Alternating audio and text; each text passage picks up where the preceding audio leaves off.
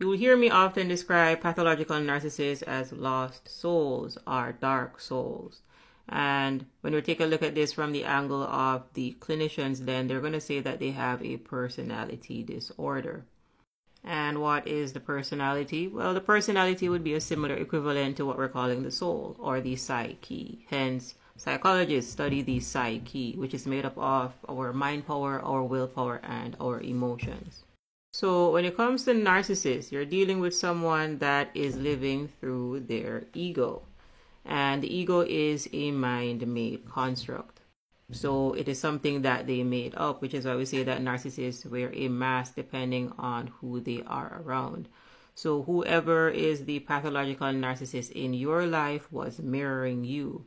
They adapt their personality like a chameleon to mimic your interests. So when you think about the love bomb, then you technically fell in love with yourself because they were mirroring your personality. You really weren't interacting with the true person. So a simple way to think about human beings or who we are, who am I, is that we're spirit operating a human body with the access to tools such as our mind power, our willpower, and our emotions. So instead of spirit, you could say that we are source, we're source energy, we're light, life, life force. Um, we are the inner being, the observer, prana, consciousness, etc. So pathological narcissists are living predominantly through their ego because they abandon their true selves.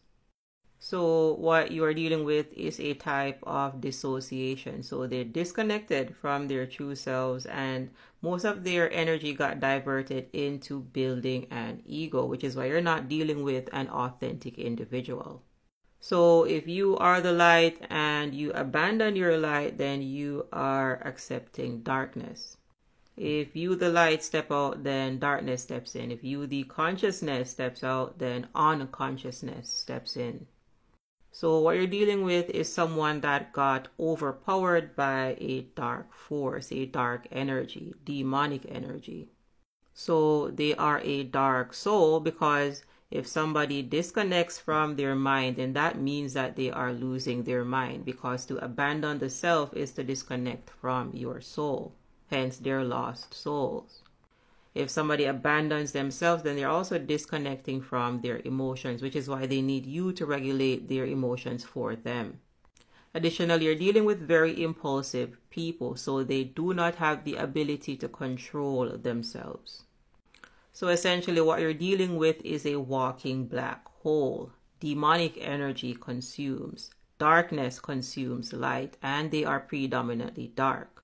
Spirituality 101, Personal Development 101 is that we're spirit operating a human body with the access to tools such as our mind power, our willpower, and our emotions. So, oftentimes I'll use emotions as a way to explain the darkness that is inside of a pathological narcissist.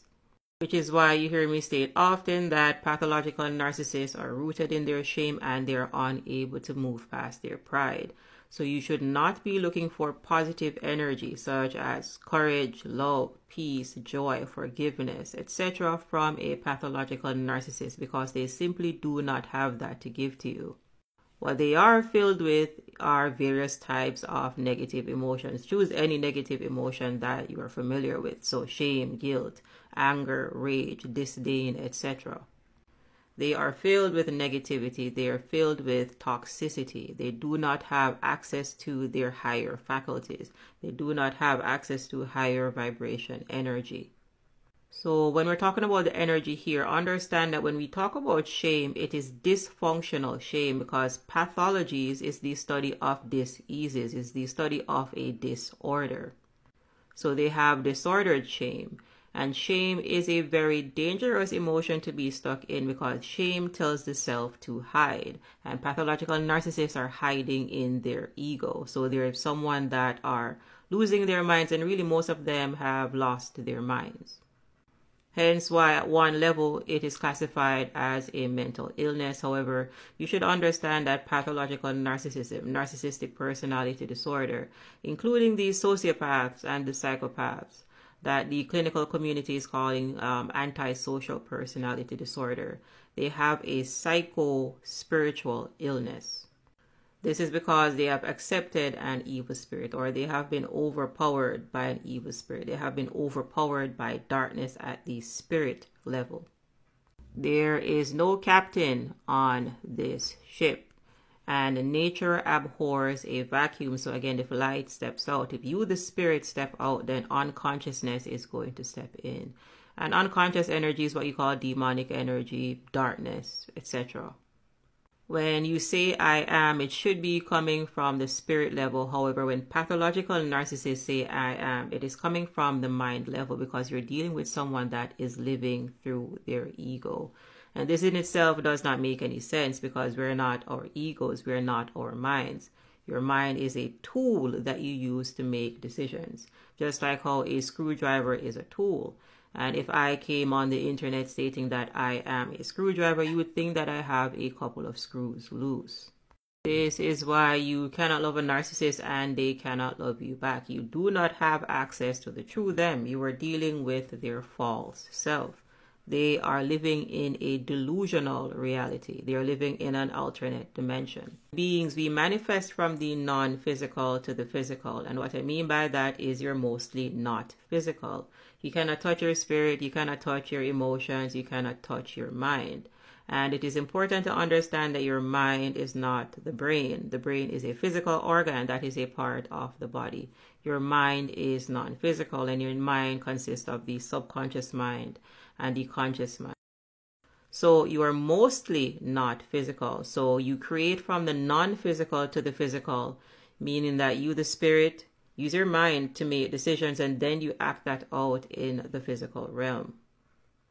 And that is the key point. You, the spirit, should be using your mind to make decisions. However, narcissists believe that they are their mind. So you're dealing with someone that is losing their minds. And not only losing their minds, you're dealing with lost souls. Hence, they have a personality disorder. Again, at an emotional level, is someone that is unable to move past their pride. They're rooted in shame and they're unable to move past their pride. And people that are stuck in their pride, that are rooted in their pride, do not see anything wrong with their behavior. So you're dealing with someone that is stuck in the third dimension. They're stuck in victim abuser consciousness. So any relationship that you get into with them, whether this is a parental relationship or an intimate relationship or a business relationship, is going to be a victim abuser type 1. Pathological narcissists do not see people as their equals. They want to be above you. So if they are the abuser, then you're going to be the victim. They want to be master, so you are going to be slave. Simply put, people that are stuck in suffering, that are stuck in misery, that are stuck in hell and purgatory will also want you there with them because misery loves company. Additionally, they are not able to ascend, so you must descend. You must lower your vibration. You must lower your standards to get down here in victim abuser consciousness with them. If you appreciate the content, please give us a like, share, and subscribe, and go ahead and save the videos. And if you have any questions or feedback, go ahead and leave them in the comments, and I'll catch you in the next video.